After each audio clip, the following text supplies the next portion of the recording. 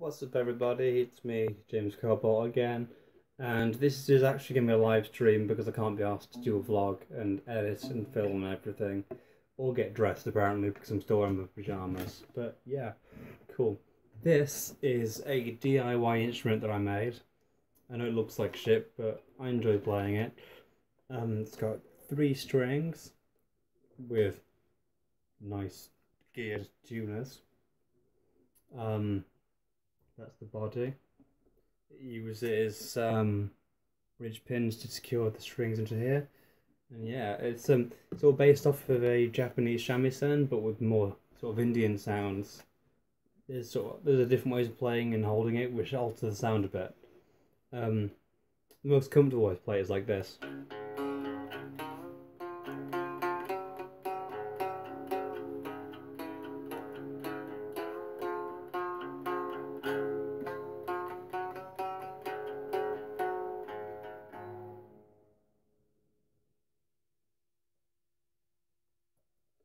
So yeah, um, so yeah, that's sort of like the most basic way of playing it, but like a guitar. But if you hold it upright like this and sort of perch this little thing on your knee, it actually gives out a lot more bass sounds. Because it sounds more full.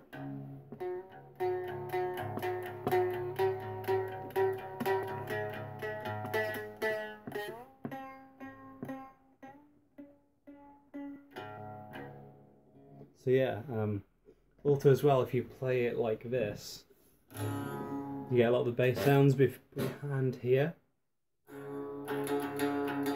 It takes out the bass, so like.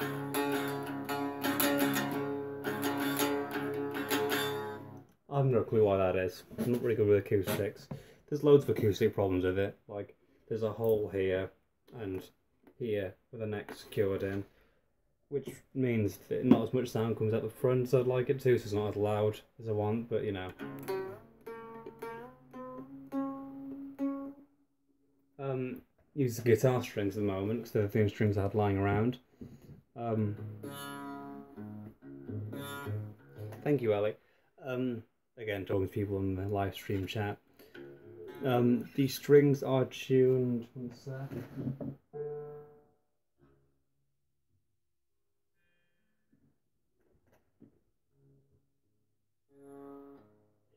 They should be in a D major power, a D power chord even, but I don't think they are at the moment.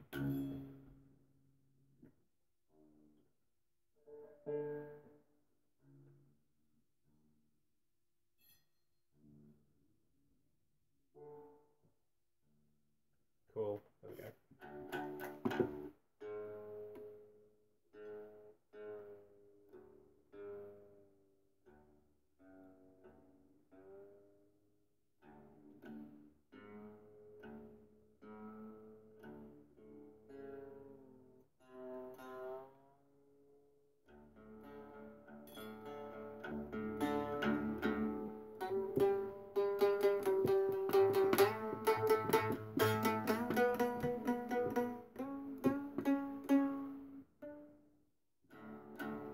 So yeah, it's sort of it's entirely fretless. There's no notes on the neck or anything. So it's just sort of all done by ear.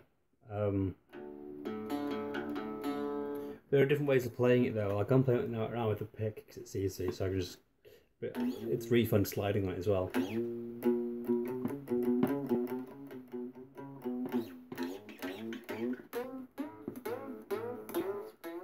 Has some cool effects to it. Um, the way you play it really, you use these strings here as drones. And this string is like a playing string, but like a sitar. Only sitar has five playing strings and um, 16 non-playing strings, so see sort of this one take the lead.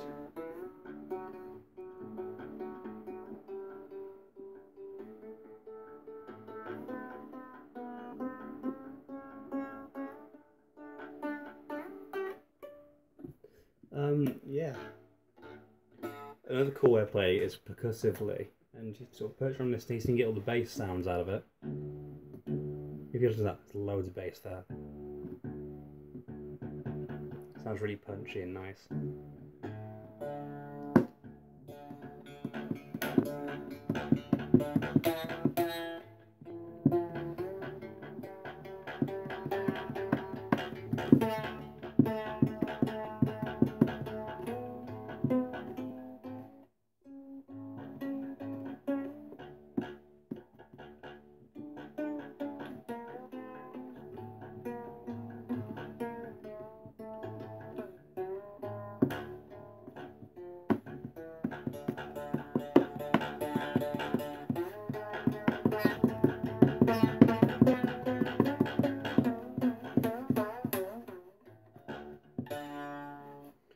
that's pretty cool. Um, I also use it as, I'm also sampling it at the moment as a percussive instrument because if you just sort of perch it here, like a cello, and do this,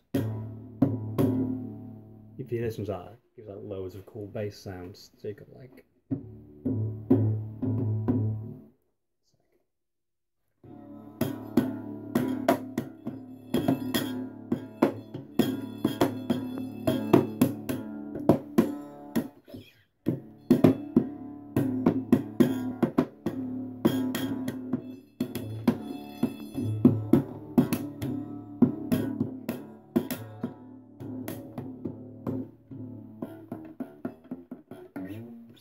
So yeah, um, it's not very heavy, which is good.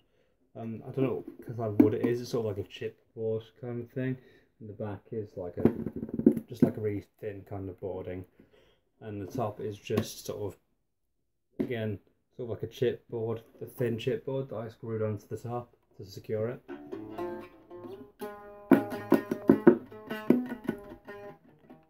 The way of playing it is called claw hammer. This is generally done on banjo use this finger here or this one, depending on what, what your preference is, and you and sort of hammer it like that. So you can go like.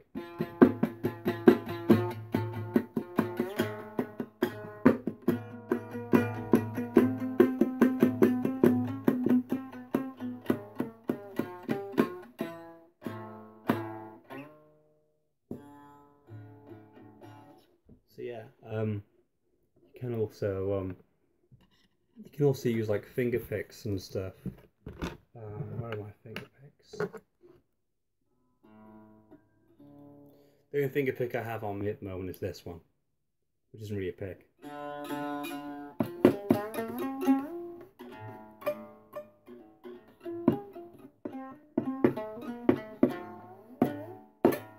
Which is actually really good for playing percussively with, but I haven't really got the hang of that. In here, they're in here.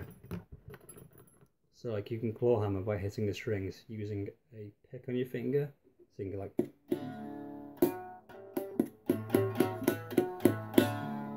it sort of stops your finger from fingernails from getting destroyed. But yeah, um,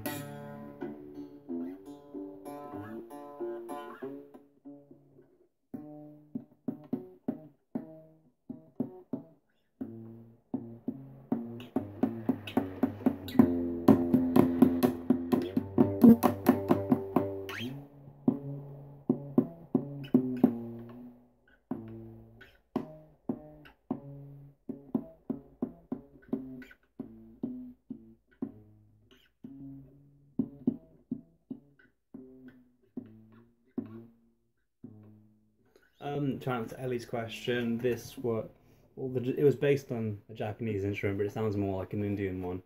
Like, it has like kind of like a ringy sitar effect.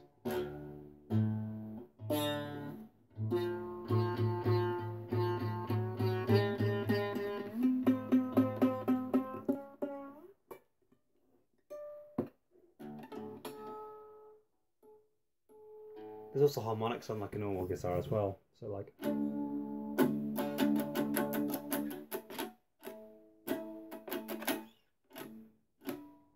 There's slight notes you can hear there.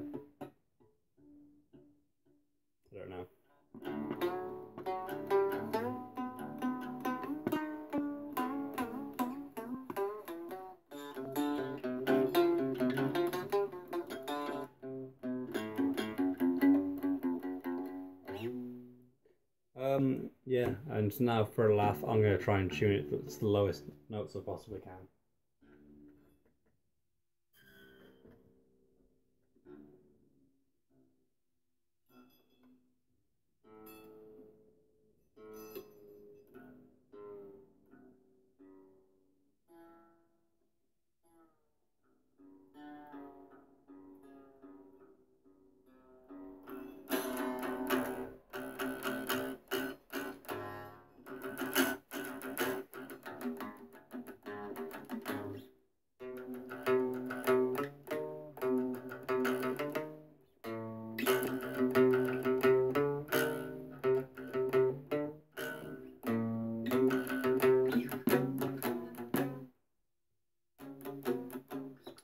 Chords don't play very well on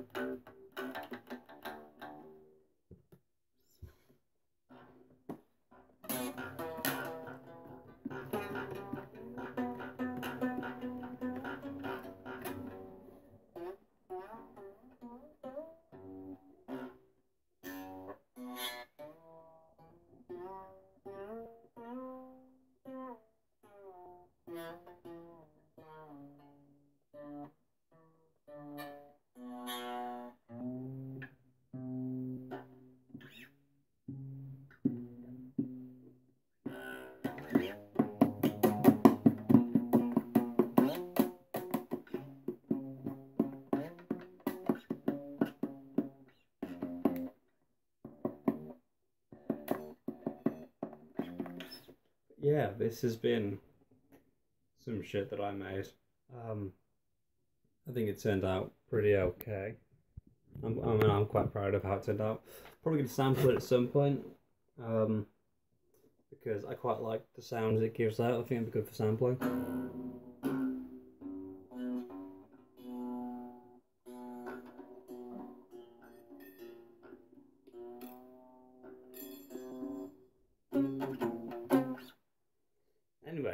That's all from me. Thank you very much and goodbye.